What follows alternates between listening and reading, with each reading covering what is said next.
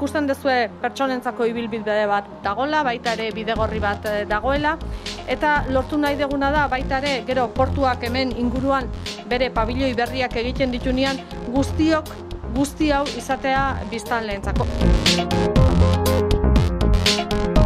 Que creo que esta es una actuación que trasciende de lo que es cada uno de los términos municipales y se centra sobre todo